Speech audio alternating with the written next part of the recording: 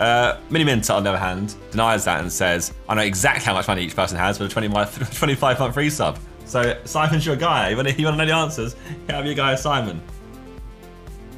Simon, I'll let you know that I've got £400. It's my name. I spent them all on gifted subs for crashing too much in Formula One. Pretty sure Royce broke, KSI is rich.